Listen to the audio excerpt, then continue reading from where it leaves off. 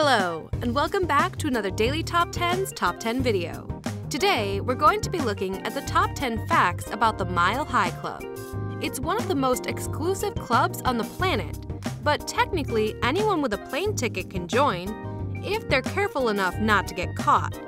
But here are 10 facts about this sauciest of societies that you might not know.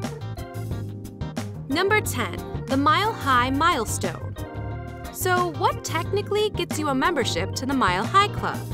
Don't jump out of your seat and head off to the bathroom too early. Only once the plane has reached a minimum altitude of 5,280 feet does membership open. It's probably worth the wait in any case. Once you're at a higher altitude, the atmospheric pressure is supposed to help heighten the intensity of your orgasm, in part because of the reduced levels of oxygen available. Also, plane's vibrations might lend an extra helping hand. Number 9. Lie back and think of England. People of all nationalities like to indulge in a little frisky flying, but the English do it best. You wouldn't think it to look at the prim and proper Poms, but according to a Skyscanner survey of 700 airline attendants, the Brits join the Mile High Club more frequently than those of any other nationality. We should give a tip of the hat to the Australians, Germans, French, and Brazilians for their sterling efforts too. Number 8. Where fantasy takes flight. So, does everyone who gets aroused mid flight excuse themselves and head to those teeny tiny lavatories? Turns out, not so much. The place eagle eyed sticky beaks are most likely to catch a perv is in coach. Almost 80% of all hot and heavy petting takes place in those seats, while only 25% manage to make their way to the privacy of a bathroom.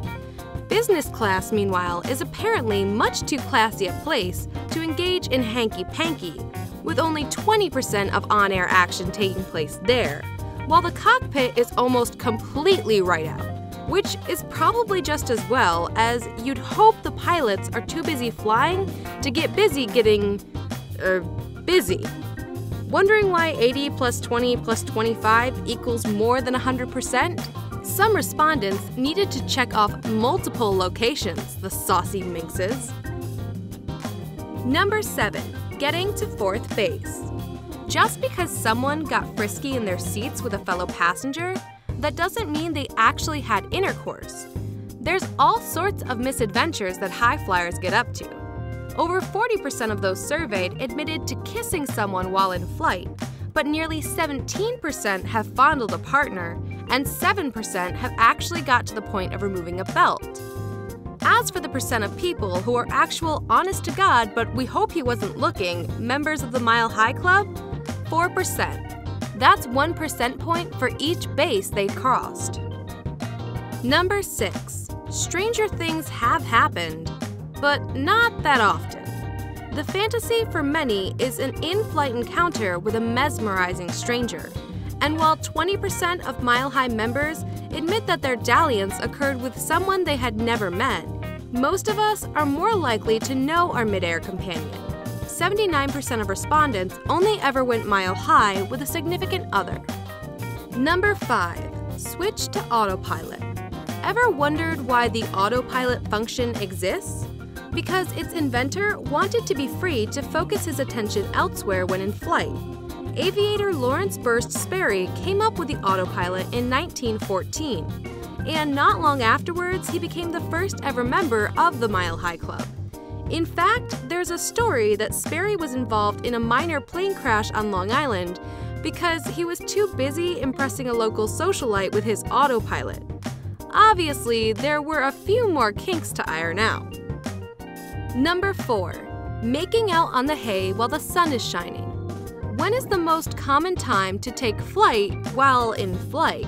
While some might suspect that it would be overnight on longer flights, the amorous tend to get fed up waiting for night to fall. No, long daytime flights that last between 3 to 5 hours are the most likely to experience something a rockin'. Number 3. You'll be happier with the right airline. If you're thinking of joining the Mile High Club, start off on the right foot by booking a flight with a more receptive carrier. Despite offering double bed suites on some planes, Singapore Airlines has had to come out and ask couples to stop having intercourse while in flight. A cruel request, we think. However, if you choose a company like Cincinnati's Flamingo Air, you might find the environment a little more hospitable. They offer private one hour flights complete with a comfy bed, a bottle of champagne, and a quote unquote discreet pilot for as little as 425 US dollars. Number 2. Celebrities in the club. Gwyneth Paltrow has done it, Ralph Fiennes signed up too, Barbra Streisand is a member, and so is Miranda Kerr, Jake Gyllenhaal, Janet Jackson, and Liam Neeson. John Travolta, a licensed pilot, is rumored to have joined the club while at the controls. Of course, Virgin Air top dog Richard Branson has long been a member. In fact, he boasts that he first signed up at the age of 19. Maybe that's when he got a taste for air travel.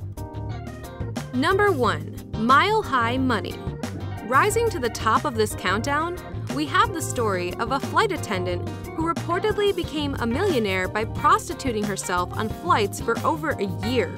The attendant, supposedly working on a Middle Eastern airline, made as much as $2,500 per flight before she was caught, fired, and deported.